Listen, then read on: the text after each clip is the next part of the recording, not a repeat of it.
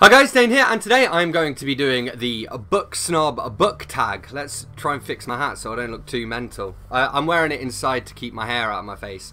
I was tagged to do this by Jason at Jason's Weird Reads, and it was created by Tia and All the Books. Both great channels, I will link to them both below, so be sure to check them out. There are seven questions, I'm going to answer them, and then I'm going to tag some people at the end. So, question one, Adaptation Snob. Do you always read the book before you see the movie? Uh, I try to. I'm sure there are cases where I haven't, or sometimes like, uh, like for example, I watch To All the Boys I've Loved Before because I just know I, I don't. It's so low on my list of books that I will ever get to that I doubt I'll ever read it, unless like I don't know, it's the only book I have to hand or something, and seeing as I don't own it as well, you know. So I was like, well, it's a genre I wouldn't really normally read. It's sort of a, you know, YA or whatever as well, uh, like YA romance. So uh, I'm not going to read it, but I'll, I do not mind watching the odd rom com, you know. And actually, I did enjoy the movie. But as a general rule, if I know, especially if I know something's about to be adapted, I'll try and read it first. So I did that with like Bird Box, Haunting of Hill, Hill House. Uh, I don't know. Accidentally, have done it with Nosferatu, I think, because there's a new pilot or something of that that's been released. I don't know, I haven't watched it. To be honest, I don't particularly care for adaptations anyway. In terms of like what I like to watch, I like documentaries, preferably a documentary series, if not, you know, documentary movies. Uh, I just like to learn stuff when I'm watching stuff. And to be honest, I mostly watch YouTube anyway. Question number two, format snob.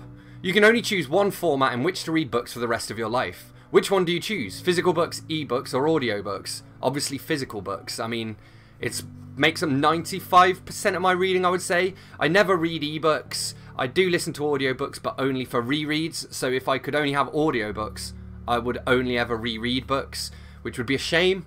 So yeah, physical books, pretty easy one. And I think most people will probably say that as well. Question number three, ship snob. Would you date or marry a non-reader? Uh, I mean, historically, I guess I have done. I think, like, or the majority of, like, you know, people I've been in relationships with, they've been kind of casual readers, maybe a book a month at max. My current girlfriend probably reads three to five books a month or something. Uh, to be honest, it it doesn't really bother me. To be honest, it seems to me as though most people don't actually read that much. I, I just don't. I mean, as as much as books are and writing are a huge part of my life, like, you know, I I I don't think that you have to have all this stuff in common with somebody. Sure, it's great, you know, but I'm sure even if I were to marry a non-reader, we'd talk about music or about life or whatever, you know? Question number four, genre snob. You have to ditch one genre, never to be read again for the rest of your life. Which one do you ditch? So, romance springs to mind. Uh, paranormal romance? I don't know. Uh, YA, I, I guess although that's not a genre. I don't really read by genre anyway. Erotic thriller, maybe, although I'd rather read erotic thrillers than romance. So I guess it's romance. But then romance is one of those genres where, you know, romance and horror are kind of the two genres that they can kind of creep into other books without changing the genre.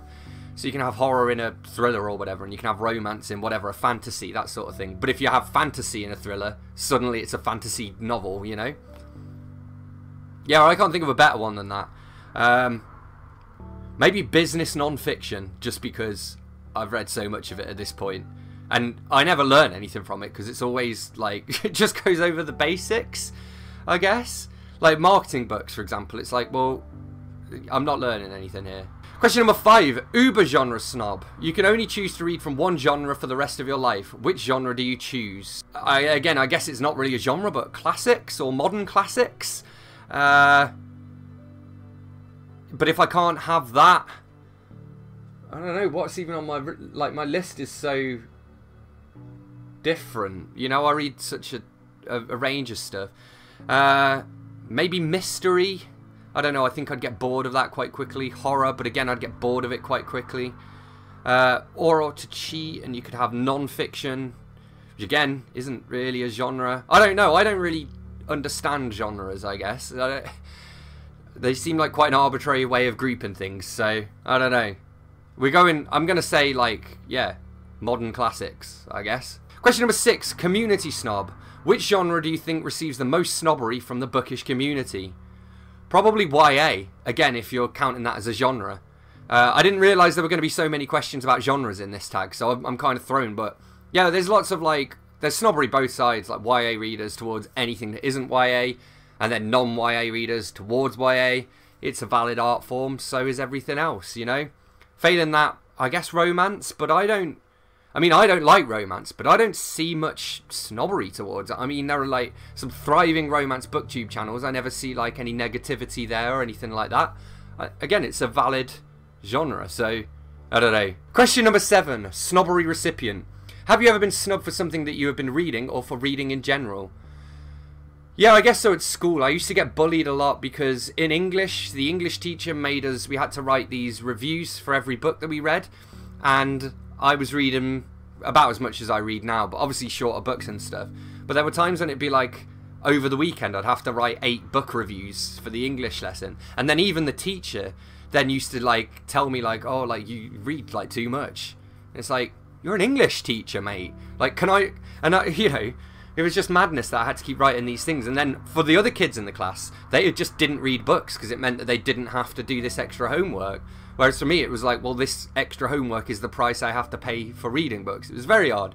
Uh, I've had people come up to me on the bus and be like, oh, like, why are you reading? And uh, it's like the old Bill Hicks thing where he's like a cocktail waitress went up to him and said, What are you reading for? And he was like, That's an interesting question. Not what are you reading? What are you reading for? His like reply was, "Well, I, I guess it's so I don't become a fucking cocktail waitress." no offense to anyone who's a cocktail waitress. I feel like this has just been me complaining. I'm in a complaining mood today. That's also the end of the questions. So, yeah, rant, rant tag, I guess. I also hate it when people tag things as rants, but you get kind of this inverse snobbery as well, where if people love a book and you don't, they're like, oh, well, there must be something wrong with you. And it's like, no, no, I, I just didn't like the book. But then basically got obsessed with this girl, and she got like a fiance, and he asked like his parents for advice. I think his dad for advice, and his dad was like, "Oh yeah, just you know, make her see that she should fall in love with you." And it's like that's terrible advice. You're trying to get her to basically to dump her fiance to go out with this little kid, who was an asshole as well. So uh, I'm going to tag some people. I'm going to do what I normally do. The uh, my computer screen is behind the camera, so I'm having to lean over like this to see. All right, I'm gonna tag Pints and Paperbacks. Check out his channel as well, by the way. He's relatively new, and needs a bit of support. Big Hard Books and Classics, Charles Heathcote, and Jayden Reads, who you should also check out because she's also a new channel who could use a little bit of support.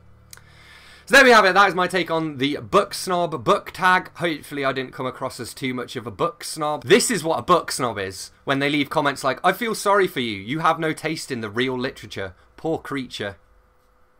That's when you're a book snob, when you leave comments like that. Anyway, uh, yeah, hopefully you enjoyed this. Hit that like button if you enjoyed this video. Hit subscribe for more. Let me know in the comments. I don't know. Let me know if you've done this tag, and if so, I will go through and check it out and have a have a little goosey gander at your channel. And I will see you soon for another bookish video. Thanks a lot. Bye bye.